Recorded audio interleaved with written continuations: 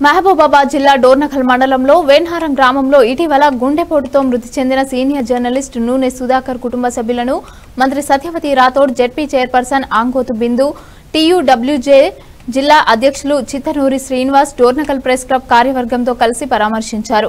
సుధాకర్ చిత్రపటం వద్ద పూలతో నివాళులర్పించారు. ఆమె వెంట councillor Veeranna Mainupasha press club అధ్యక్షులు గండి సీతారాం గౌడ్ సభ్యులు సత్యనారాయణ ప్రకాష్ శ్రీనాథ్ ఉపేందర్ సక్రం నాగరాజు యువరాజు ప్రెడ్జు తదితరులు పాల్గొన్నారు.